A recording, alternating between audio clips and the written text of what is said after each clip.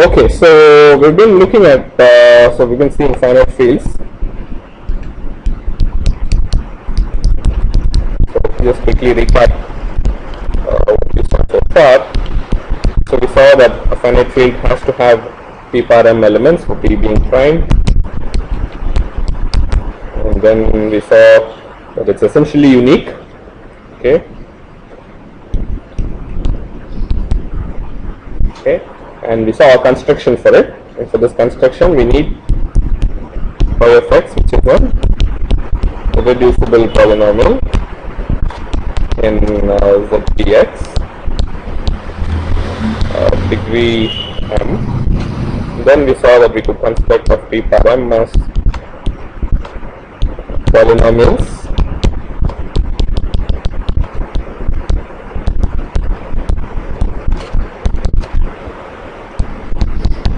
polynomials with coefficients in Zp of degree less than or equal to m minus 1. Okay, and when you do multiplication modulo phi of x, you get a field.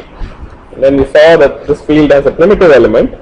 Okay, so the same p power m can be written as 0, 1, alpha, alpha squared all the way to alpha p power m minus 2. Okay, there exists alpha such that this is true. So this is a primitive element. Okay. So if you have a method for going back and forth between the alpha representation and the polynomial representation, you can do addition very easily in the polynomial representation. You can do multiplication very easily in the alpha power representation. So it works out. Okay. So this is how you construct and work with the field of size p power n. So the only thing here is how do you find this p of phi of x, and uh, there are tables available for any reasonable m, but you can also write and write a program to find uh, find uh, this kind of irreducible or primitive polynomials even. Okay, so so I don't know if you're familiar with these things. There's something about how many primes are there in the first n natural numbers, roughly. How many are there? In, in terms of numbers, how many prime numbers are there from say 1 to n, roughly? Do you know of any result like that? So go back and look at it. So it turns out it's a fairly it's just some number of it between n and 2n. There are some some primes expressed. So there are some results like that you can use to figure out that if you randomly come up with numbers in a certain way, then you can get to prime numbers. So similarly, there is methods to find irreducible polynomials of degree m. So if you keep picking random coefficients for your polynomials, of course, making sure that you don't make obvious mistakes in the in the thing. For instance, if you keep the constant coefficient as zero all the time, you'll never get a reducible polynomial. Right? So, so you don't do some obvious mistakes like that. You pick every co coefficient randomly. You do something like that. It turns out you'll get an irreducible polynomial soon enough. So you can write a program like that to to find that. So since it's since that is true, one can even write a program to quickly come up with this polynomial. So so the construction and the operations of the finite field are reasonably clear. And uh, there are some lot of structural results that we saw about of what smaller fields will be contained in FP power m. Okay, those things are those things are interesting just to give you a structure. And then the next thing we saw was about minimal polynomials. Okay, so that was an important uh, kind of uh, idea. Okay, so we saw that all the elements of the finite field are roots of x bar p power m minus x. Okay, so that is the result that we saw, and that was a crucial result which tied up everything together. And then we saw that it's in fact x bar p power m minus x is a product of all irreducible polynomials in ZPX whose degree divides m. Okay, so that was an interesting uh, result as well. And then we saw minimal polynomials for each of these elements. And so, so finally, all that was basically tuned towards finding roots of a polynomial with coefficients from a finite field. Okay, what is the main result about roots of polynomials with coefficients from finite fields? There is an extension field of the finite field over which this polynomial factors into well, yeah, linear factors up to with multiplicities, but basically linear factors. Okay, so we know that there is a splitting field for every polynomial. How do you find that field? Take its degree and then work and see which p m minus one it will divide, and then once you see that, you can figure out which uh, which field will have. So there's a way to easily do it. So one can one can do that for any polynomial. Okay, so that that's that kind of I mean, that's, that's a nice way of studying all that you want to know about the field, right? So usually in a field, you're interested in finding roots for a polynomial. So, so that's, that's, that gives you some closure kind of thing, okay? So you know how to find roots for every polynomial. You, you pretty much studied most of the algebraic properties of a field. Okay, beyond that, you're not too interested. Okay. So one crucial idea which I didn't emphasize too much in the class itself, but in the problem set it showed up and I explained briefly how to do it, is this notion of factoring bar n minus 1 over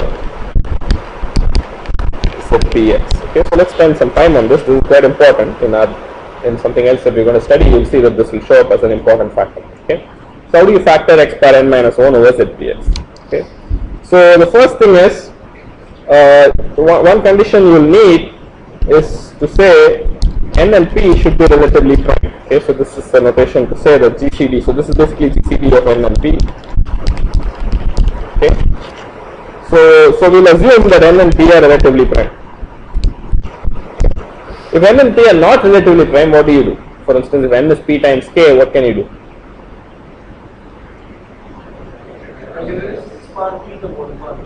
Yeah, so you can, yeah, so it's very easy to, let's see, you know that x plus y whole power p is the same as x power p plus y power p. So if it's, if it's, if n is a uh, multiple of p, you can write it as x power k minus 1 whole raised to the power p.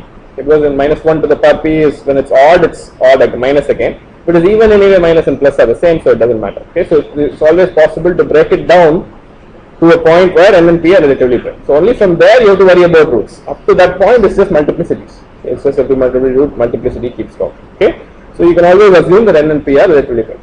So once you say n and p are relatively prime, it turns out there exists m such that n divides p power n minus 1. Okay, so this is a result which needs proof, but it's, it's quite easy to prove. It's not very hard because if you take all the numbers that are relatively prime to p less than p, they will form a multiplicative group. You can show that. Once they form a multiplicative group, you can use some properties from there, and then you can show it. That's that's the Fermat's uh, little theorem or something like that. Okay, so there's there's a very standard result which says there will be an m such that n will divide p power m minus 1. Okay, so it's not very hard to show, but we're not going to prove it in this class, but accept that. Okay, once you accept that, things become much nicer. Okay, so once you say n divides p power m minus 1, this implies there exists some beta n of p power m such that order of beta equals n. Okay, so that is the crucial idea here. Okay, so you have an element in fp power m. For order, order of that element is equal to n. How do you find that element? How do you find this element beta and fp power m?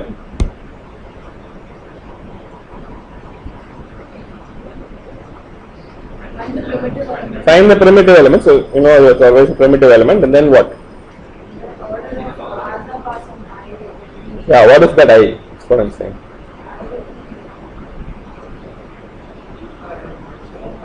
Yeah, p power m minus 1 by n. Okay, so you take the primitive element, then raise it to the power p power m minus 1 divided by n. So that will be an element which has order n.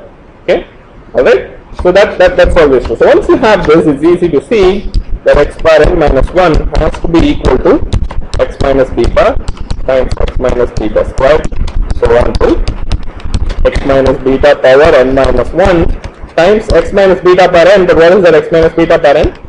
It's actually 1. Okay. So how do you show that this is equal? Okay. How do you prove this result? Why? Yeah. Yeah, so so you argue is beta is the root of x bar n minus 1. So x minus beta divides x bar n minus 1. And then beta square is also a root of x bar n minus 1 and beta square is not equal to beta. Why is that? Yeah, so so so, so x minus beta and x minus beta square are mutually relatively prime factors of x bar n minus 1. They have no common factor. So it means x bar x minus beta times x minus beta square will have to divide x bar n minus 1. So that way you show all the product of everything on the right hand side has to divide x bar n minus 1 and then it's a very simple observation about equating the degrees on both sides to show, that this has to actually actually be an equality. It cannot be just divided. Okay, so x, x bar n minus 1 of course for all has degree n, this also has degree n. So the only other factor you can have there is a constant, and that constant has to be a 1 by equating the coefficients of x bar. Okay, so it's a very easy thing to show that these two have to be equal. Okay, once you make this argument of order, right? So what we've shown here is the splitting field of x bar n minus 1 can be quite easily found. You just simply look at the smallest m for which p par m n divides p par m minus 1 and there it is going to split. Okay. The next step, okay, so I'm interested, so this is this is nice, it's very good, you factored it, but the only problem is this is a factorization over f p par m x, okay, while I was interested in the factorization over z p x, okay. Alright, so that was the, so, so that's the next step. So for that you have to use ideas of minimal polynomials. Okay, you know that this element beta has some conjugates in Fp par m and the conjugates and elements beta when you do x minus beta, x minus beta, beta square, beta, beta per p, beta per p square etc. multiply them together, you actually get a polynomial which is the minimal polynomial of beta in Fp par m and that polynomial has coefficients only from z. Okay, so that's what you want. So you want to group the powers of beta as conjugates and then get to the minimal polynomials by multiplying them out and that way you would have factored x bar n minus 1 into irreducible factors over zpx. Because you know each of the minimal polynomials are irreducible. Okay, so that's like prime factorization of x bar n minus 1. Okay, we're able to do that. Okay, so that's the next step and for that we're going to introduce uh, a slightly different kind of cyclotomic cosets. Okay. So remember when you, when you want to list out conjugates, you don't have to carry the main term there, right? I'm only going to find conjugates of betas, beta, powers of beta. So I can simply drop beta and only use the powers. Okay. So I'm going to define cyclotomic cosets modulo n under multiplication by p.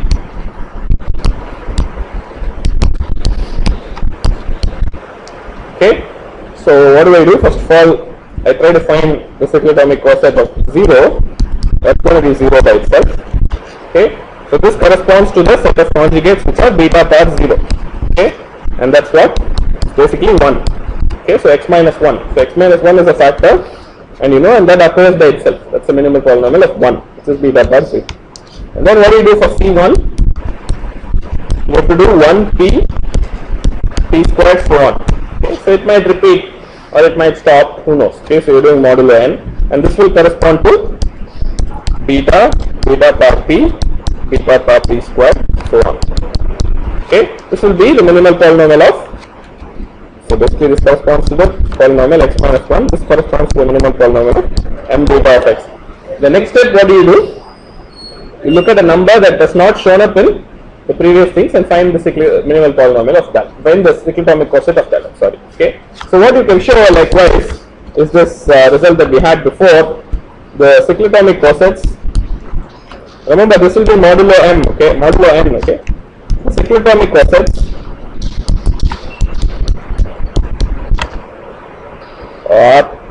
form a partition of 0 1 2 and minus 1 okay so you can show the similar result as we did before okay? So so you understand what i'm saying right? So when i say partition what do i mean? Union of all those things is equal to 0 1 n minus 1 and then what is the next thing that's implied by the partition? Yeah they're, they're either equal or disjoint so if you take any two cyclotomic cosets they'll be either fully the same or they'll be disjoint okay so so you can throw away so you can throw away repetitions and only take one representative and you can get a disjoint union of cyclotomic cosets which equals 0 0 to n minus 1 okay so the best thing to illustrate this is an example. Let's take a simple example. I'll take n equals 9 okay so let's look at the cyclotomic cosets for 0 that will going be just 0 okay and then 1 is going to be so let's say uh, p equals 2 okay, so p equals 2 1 is going to be what? 1 2 4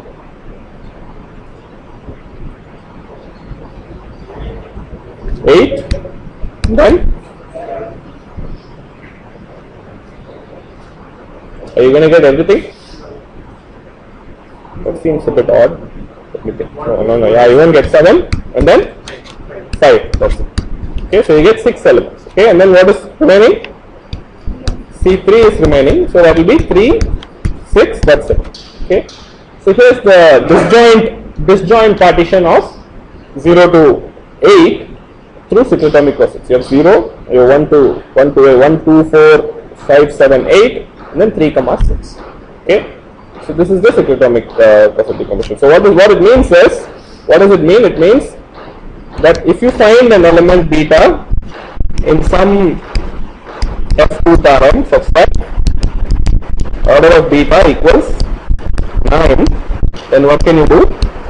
X power n plus 1 will factor as x plus 1 corresponding to c0 then there will be a factor which is x plus beta power 3 times x plus beta power 6 okay and that will be corresponding to c3 but you know what what what will this product be it has to be x squared plus x plus 1 why should it be x squared plus x plus 1 well, that's the only irreducible polynomial of degree 2 in in f2x so this will be x squared plus x plus 1 that is just something that you can find.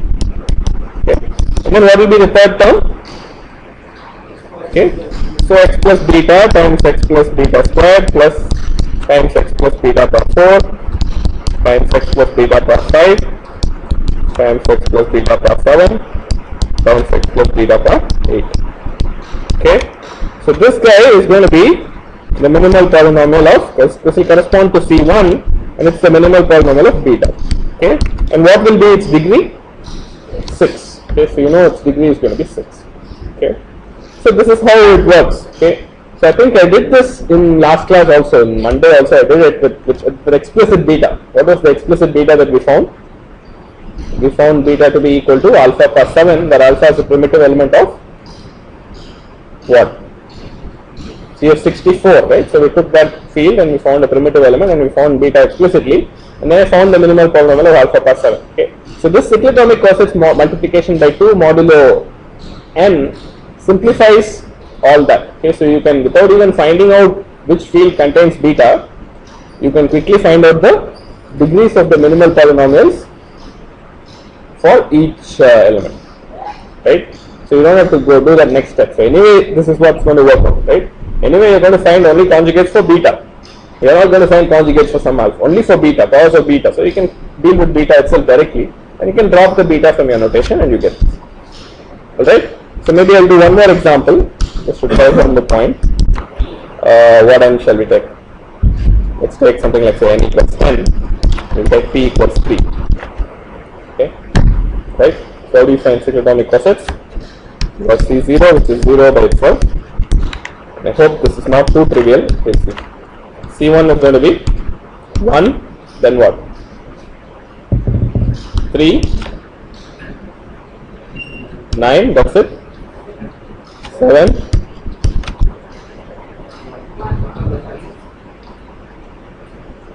is that okay okay remember it's modulo 10 okay so 7 times 3 is 21 that modular 10 brings you back to 1 okay what about c 2 2 6 2 4 no 2 6 no 6 8 4 Am I right? That's it. And then 5 will occur by itself. Am I right? Okay, 5 times 3 is 15, both backwards. Okay, so if you factor x power n minus 1 over z3x, you're going to get x minus 1 as one factor. What's going to be x minus beta power 5? it's a irreducible polynomial of degree 1. What is the other irreducible polynomial of degree 1? x minus 2. Okay, so it's going to be x minus 1 times x minus 2 times a minimal polynomial of degree 4, another minimal polynomial of degree 4. Okay, so irreducible polynomial degree 4, irreducible polynomial degree 4. It's a bit difficult to figure out what they are directly. You know, so if you know the list, you can maybe figure out what they are. Okay, so let's see what will be the m, what will be the extension field over 3 in which you will have a order 10 element. 4 right so if 3 power 4 minus 1 is 80 10 divides 80 so you can go to an explicit g of uh, 3 power 4 30, 81 then work with the minimal polynomials there and find these polynomials explicitly if you want to find them out you can do computations in g of 81 and figure it out is that okay so this is how you work it but you cannot you don't have to do that okay the main thing I want to emphasize is you can find the degrees of the minimal polynomials without knowing anything about the field. right? Only with this simple cyclotomic coset algebra, this computations, you can find the degrees, okay? And it will turn out that is important for us for some other reason, okay? Explicit polynomials also have to be found. If they have to be found, you go to the field extension field and do the computation. But the, if you are only interested in the degree, you can find without any problem. Is that okay? All right. So that's the that's kind of uh, point where we're going to stop looking at finite fields and then move on to uh, codes once again. If there's any question, please go ahead and ask. Yeah.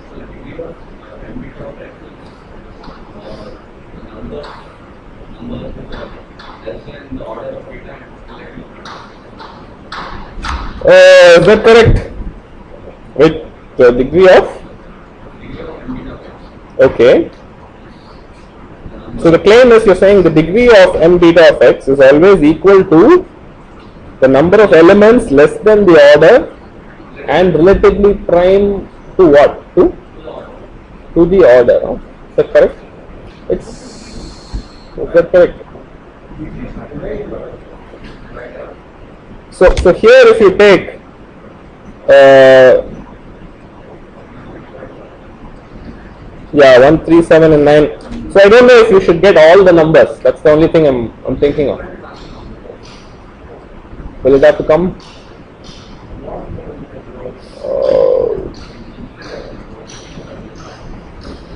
So sometimes it may not you know. So it depends on whether or not uh, 2 or 3 the, the prime p is the is a primitive element in in the in what is that the Zn star you know what, what you know what Zn star Zn star basically so if you take all the numbers from z- 1 to n minus 1 which are relatively prime to n you put them in a multiplicative group modulo n you can do that. That is the proper multiplicative group okay?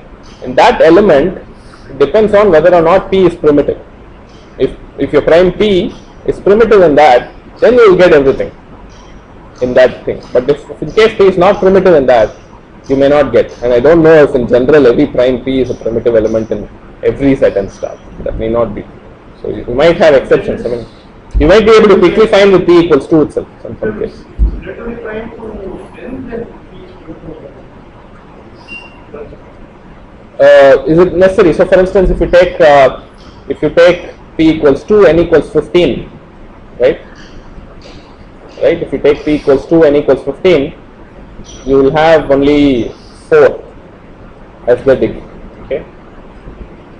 Right. And I think there are more than there are in fact eight uh, numbers which are less than fifteen and relatively prime to it. You always make a statement when R n is also a prime number. So the only thing you can say is it will divide what's called phi of n. Phi of n is the number of numbers less than n relatively prime to it. The Euler phi function. It will divide the Euler phi function. It's the only thing. It may not be equal. Depends on whether or not it's primitive. So, so for instance, the example I gave you, if you take p equals 2 and n equals 15, you get only 4. On the other hand, you have 8. Phi of 15 is 8. Okay, so you have 8 numbers. Okay. Any other question?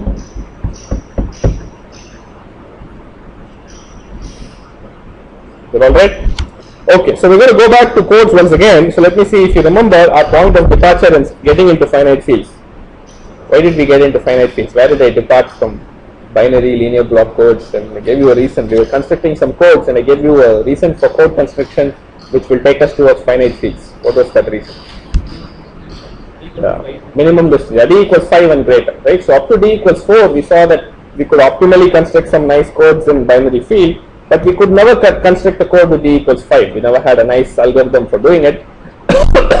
it was not obvious that how you guarantee d equals 5. So that was a kind of a point of departure, and we said the one reason why we study finite fields, there are several reasons. One reason is to see whether we can come up with constructions for parity check matrices over finite fields, over extension fields of the binary field, that d equals 5 and all can be guaranteed. So it turns out it's true, and that was kind of like the starting point of everything. You know, I mean that's why finite fields became important and all that. The construction of that code it goes back to Bose Chaudhuri and Hocquenghem. I don't know how to exactly to pronounce the third name, but BCH. Okay, so that construction really started everything. Okay, so what I'm going to do is to provide that construction first in a kind of a high level, and then tell you why the minimum distance property comes, and then we'll go go back and look at some more fundamental results about these codes. Okay. So what we're going to study next is basically BCH codes.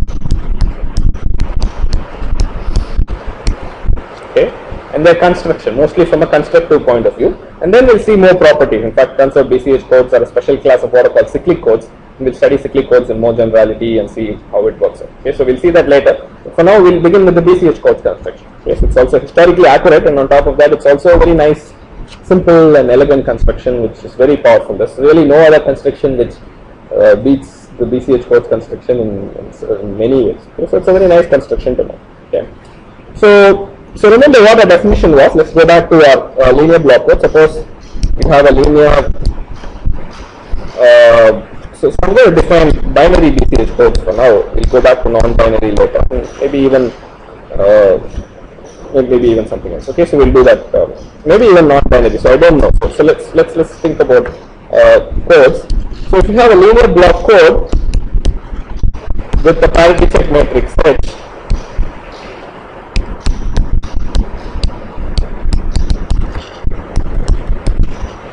okay. So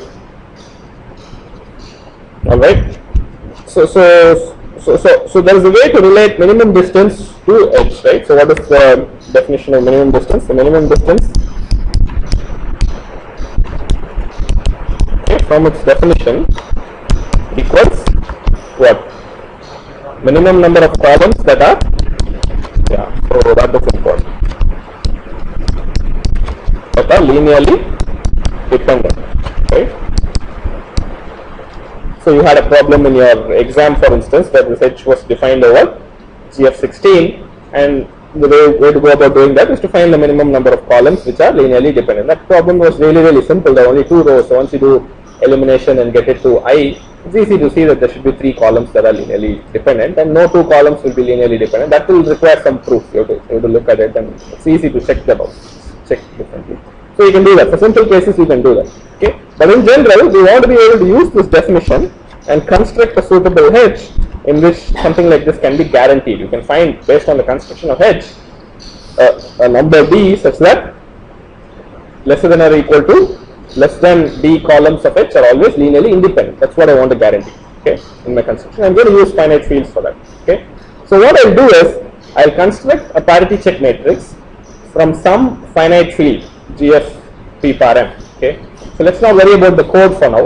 We'll simply construct a parity check matrix from some finite field GFP par m or for simplicity maybe even GF2 par m. It doesn't matter where we I construct it from some GFP par m for which I will be able to give such a guarantee. I'll be able to guarantee that there is a number d okay such that or less than d columns of h are always linearly independent. Okay, so that's my first uh, starting point. I'll just give you the construction. There's no way to derive the construction. I'll just give you the construction and we'll see why that is true. Okay, it's a very simple result. We'll see that. Okay, so so for that uh, we need some starting point. So let's say n is the block length. Okay, so block length is basically this determines the number of columns of H. Okay, so that I need. Okay, so I need to know how many columns will be there in H. Okay, total number of columns. And now I want to come up with a construction. So for that, first thing I'll need is I'll need an element beta in some finite field. Let's say parameter doesn't matter. So we need uh, so so you so we, this is always possible. This is not very hard. Such that order of beta is greater than n.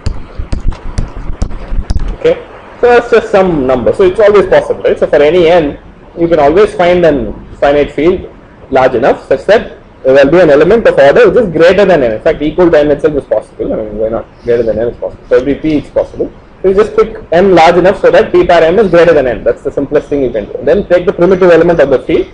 That will be that will satisfy this. But you don't have to necessarily take primitive. There are so many other elements which have order greater than n. Okay, so I'll start with this beta, and my construction will be using this beta. Okay, first. So let's say order of beta is greater than n. The next thing I'm going to do is the following. Okay, so I'm going to say my h will look like this. Okay, first row is going to be 1 beta beta squared from beta per n minus 1.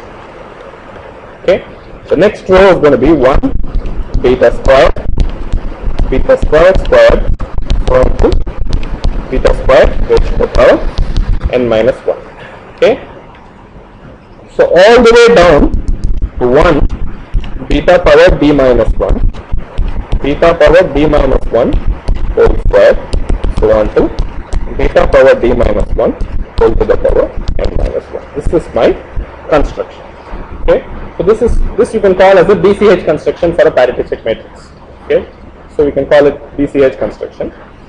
And it turns out in this matrix, the claim is d minus 1 or fewer columns are linearly independent. Okay, so what's the punchline, and I'm giving it to you the very beginning, and we'll prove it. Proof is also quite easy, and the construction is also quite simple. I mean, if you think about it, it's it's it's generic. You can use it for, any for any d you want, right? So it's a very simple generic construction, very easy to come up with. So, for instance, in your quiz, the construction followed exactly this logic right? You can see that the question had the first word was 1 alpha alpha square alpha power 3 alpha power 4. The next word was 1 alpha square alpha power 4 alpha power 6 alpha power 8 alpha power 10. I just use this construction. Okay, so it's a generic BCH construction for a parametric matrix.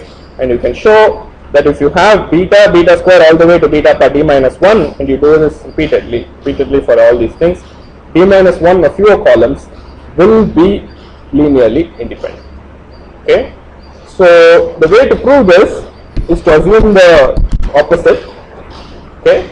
And then we will show that there is a contradiction.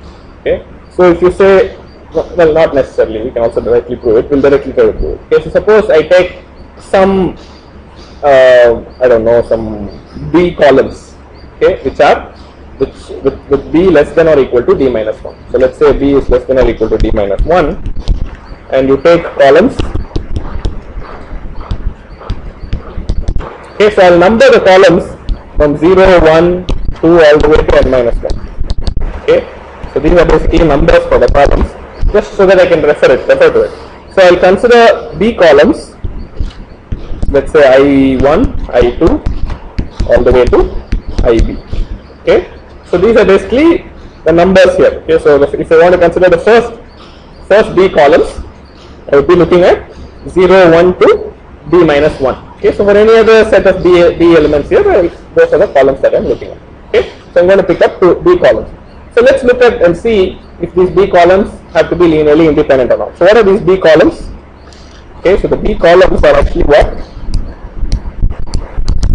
Okay, they, make a submatrix. What is the I1? IB, right? What is the I1 column? Beta power I1, beta power 2I1 all the way down to beta power d minus 1 times I1. What about the I2 column? Beta power I2, beta power 2I2 all the way down to beta power b minus 1 I2. What is the last one? Beta power IB, beta power 2IB all the way down to beta power b minus 1 IB. Is okay? That's my submatrix. Now I want to argue that this matrix has full column rank. Okay, so once I do that, I know that the columns of this matrix are linearly independent and that's done. Okay, so for that what I'll do is, I'll only take the first B rows. Okay, so I'll take only the first B rows. Okay, so why would I be doing only the first B rows? Okay, so then I get a square submatrix and I'll show that the determinant of that first B rows is actually non-zero. The square matrices have determinant and determinant we can show is non-zero. Once you show determinant is non-zero, what is nice? The columns are linearly independent. Okay, so once the first B rows itself has linearly independent columns, then if you add more, linearly independent is not going to change. because B itself is linearly independent, so you're okay. So that's a strategy in showing that. So let's look at the first B rows. Okay, so if you do the first B rows, what do you get? You get what's known as a Vandermonde matrix. Okay, so it's a very standard matrix.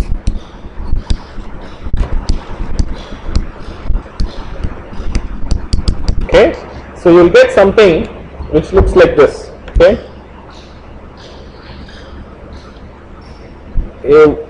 So so let me do a so so basically you will get beta power i1 i'll write it a little bit differently. Beta power i1 squared all the way down to beta power i1 raised to the power b. Okay so i'll write it and i'll take that i1 inside and take this outside.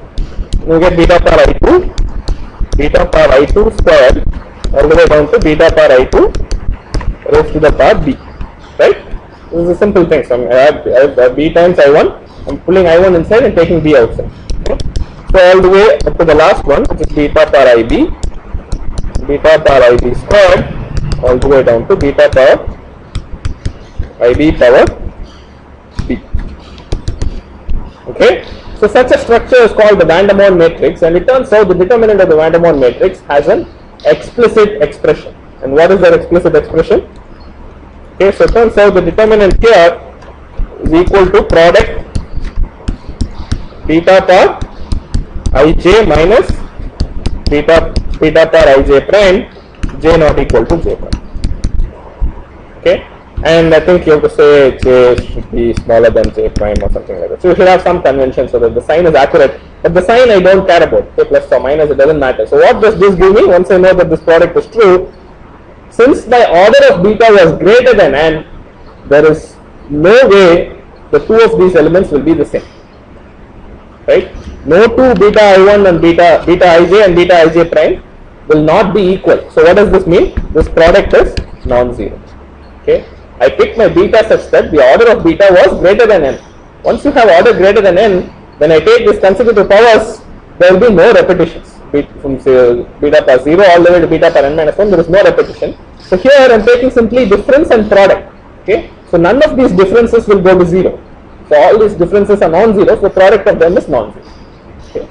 So that's uh, that's the way you show that if you take any b columns for b less than or equal to d minus 1, okay, you can take a suitable submatrix, b by b submatrix, and show that its determinant is non-zero because of this Van der structure. Okay, so so how this Van der structure came up is by construction, right? So if you look at how I constructed my H, I I picked consecutive cover, powers of beta. I put I picked beta, beta squared, so on till beta per d minus 1. If I did not pick it up as consecutive, if I change the sequence, if I, if I pick like beta, then beta per 3, then beta per 10 like that, then I won't get the random matrix. Okay, I have to pick it consecutively. Only then I will get the random matrix. Is that clear? That's why the structure came about. Okay, and I could use the random matrix result, result and get the determinant easily. Okay, so this is a specific construction. It's called the BCH construction, and what it gives you is powerful. Okay, it gives you this minimum distance property, this basically minimum number of columns that are linearly independent. Okay, so depend. Okay, so I should be slightly careful. It says it gives you a lower bound on the minimum distance. Okay, so once you have this, you can conclude that the minimum distance is greater than or equal to d. How do you show the minimum distance is equal to d? You have to actually find d columns which are linearly dependent. That you may or may not be able to do depending on how it works out. But yeah, in this case, you can actually find say that d columns will be linearly dependent, right? How do you say that? Yeah, so number of rows itself is d minus 1. So if you take d columns, clearly it will be linearly dependent. So so so if you allow for coefficients from the field, then you can get you can get uh, d columns to be linearly dependent. But d minus 1 or fewer cannot be linearly dependent. Okay, so that's the power of this construction, and it is very generic. I mean, you give me an n, you give me a d, I can always go to a large enough field and get you this matrix. Okay, so that's the power of how, how, easy to use it is and how powerful it is in guaranteeing minimum distance. Is it okay? Yes. Beta power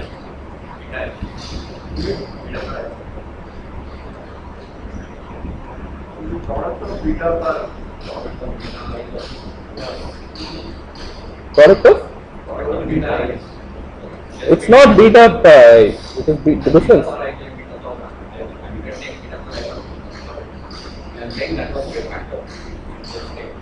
Well, I mean, okay, so so be, be slightly careful. I mean, when you do these factors and all that, see, it's, it's so these are elements of a field, you know.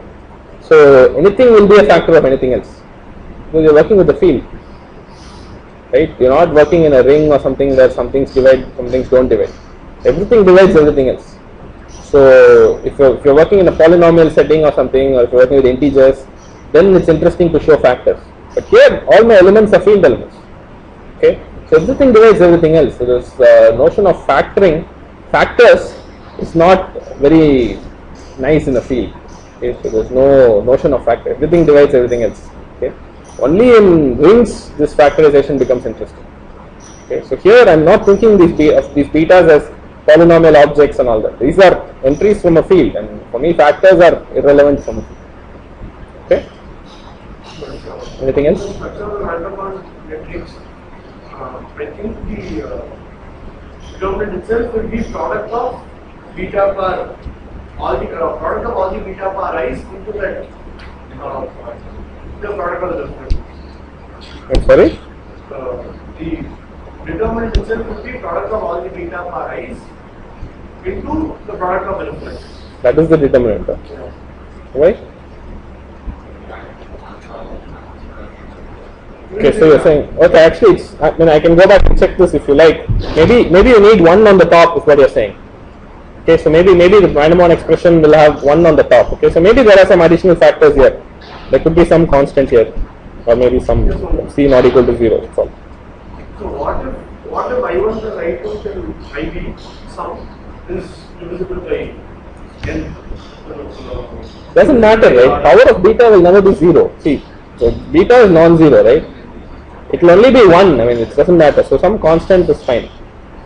Okay, so maybe I should just put a proportional instead of equal. Okay. See, non-zero constants up front doesn't make any difference. I never make it zero. So I'm only interested in differences.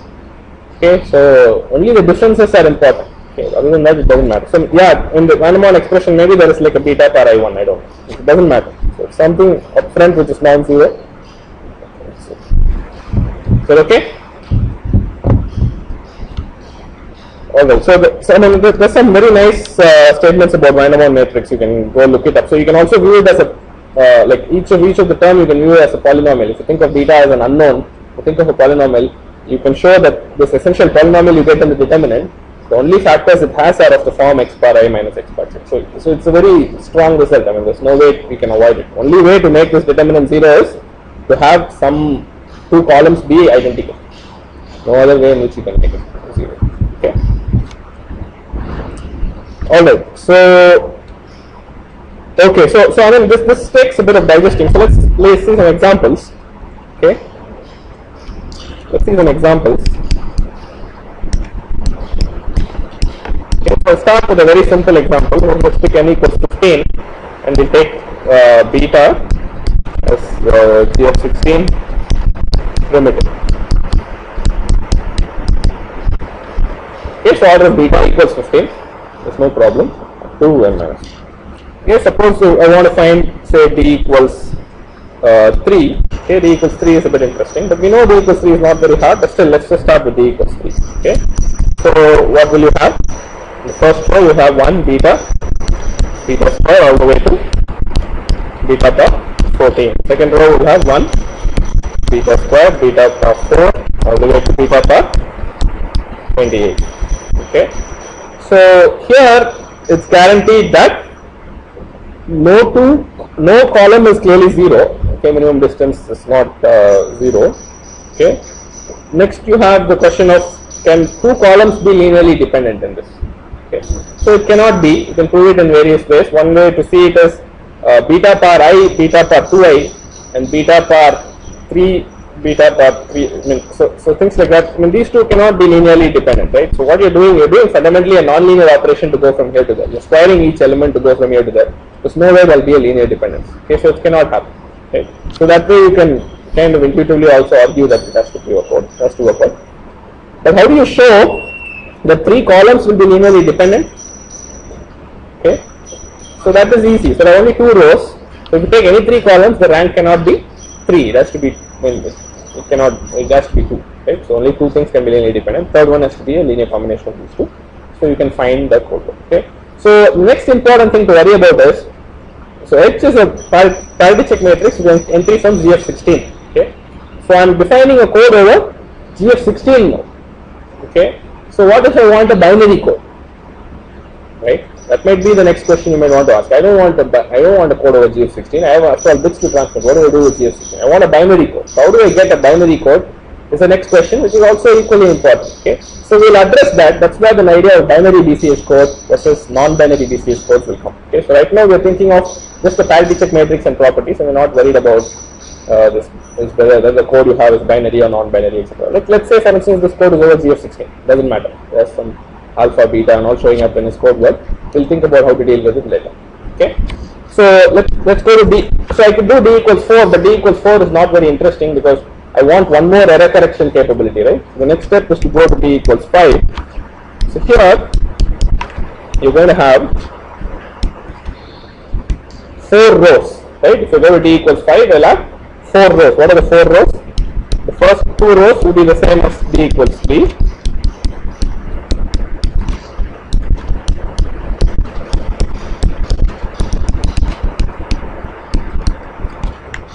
Third row is going to be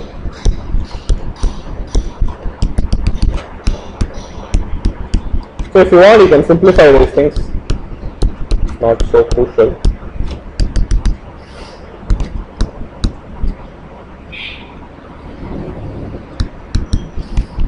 Is that okay? So that will be the characteristic matrix that you get, and it has minimum distance equals five. Okay.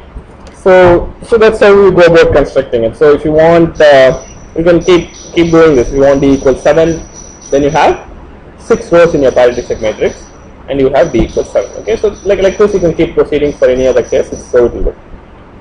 Is that okay? Any questions?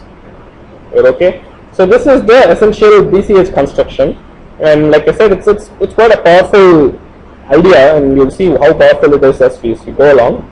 Okay, but before we proceed, there is this confusing notion of how do you go to a binary code from this code. Okay, so it seems like the idea of a uh, finite field was quite important here. Okay, so you have to pick an element beta, order of beta greater than greater than or equal to n. Okay, so you need at least n in the order. Okay, and you're going to a larger and larger field. Okay, so how do you go to a binary field uh, from it? Okay, so that's an important question. And it turns out there are two ways of doing it. How to come back to a binary code from this codes over GF2 power m. Okay, so there are two ways of doing it, and those two ideas give you two different kinds of constructions. Okay, so the first idea we'll see is what's called a binary BCH code. The next idea will be the non-binary BCH code. We'll go to the non-binary a little bit later. It's traditional to see the binary BCH code first. So we're going to see a binary BCH code. Okay. So the idea, the main idea in the binary BCH code is to say, okay, is to do the following. Okay. So so you have so binary codes from non-binary parity check matrices. Okay. So that's the main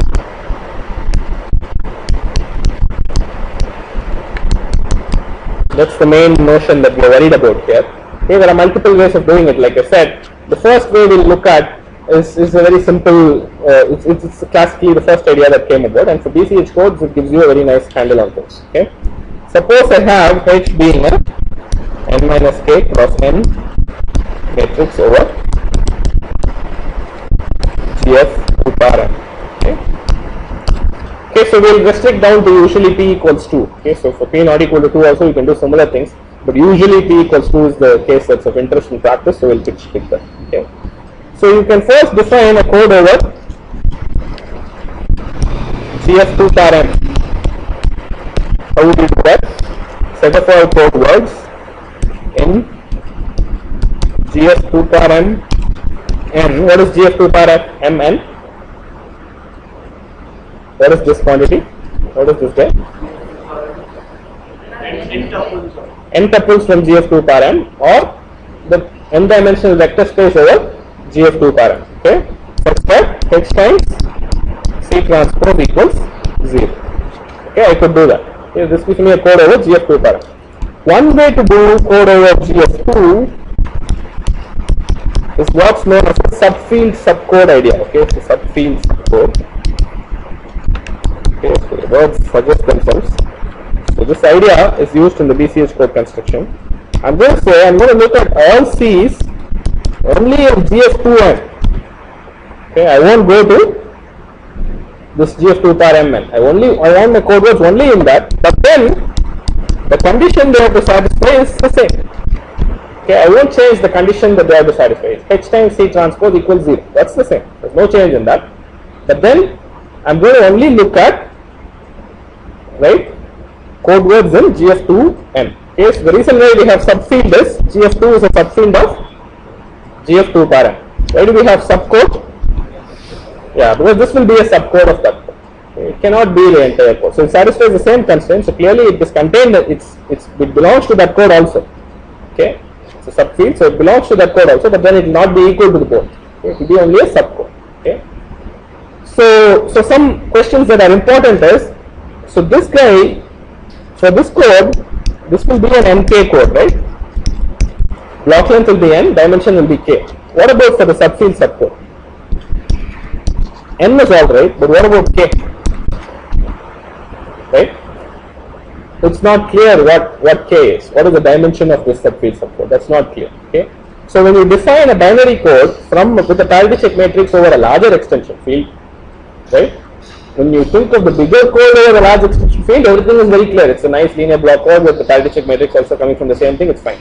But when you want to look at its subfield subcode to define a binary code, block length will be easy, but you have to worry about dimension. It's not clear what the dimension will be. Okay? Yes, what's the question? allowed to have uh, parity check matrix over GF2 for but uh, I mean, what is allowed? So, what is the definition of a linear block code? It's a subspace of subspace of 0, 1, n, right? Subspace of n-dimensional binary code. Is this a subspace of the n-dimensional binary code? Yes. So that's your answer. You're clearly allowed to have. No, nobody is going to stop you. Right? There's no, there's nothing to stop you from that. As long as I have a subspace of 0, 1, n, I have a linear binary block code. There's no problem. How I construct it is up to me. I'm constructing here through an extension field. What does it give me? What is one of the properties of the subcode? Subcode. Minimum distance is still greater than or equal to the original minimum distance. Right? Right? If this is NKD, minimum distance is still greater than or equal to. Is that okay? Even for the subcode, because it's a subcode, right? The entire code has minimum distance d. Really, the subcode will also have a minimum distance d. Okay. So what this subfield subcode idea gives me, I mean, you might ask me, why do you go to all this trouble, go to that big field and then come back? It gives me a guaranteed minimum distance. Okay. So in binary world, I couldn't, I couldn't do this. Right. I couldn't directly construct a d equals 5. So here I have a check matrix. It is over GF16. Yes. I mean, it's a bit of an inconvenience because I can't find the dimension easily. I'll show you how to do it. Because all these problems have been overcome easily, at least for the BCH codes.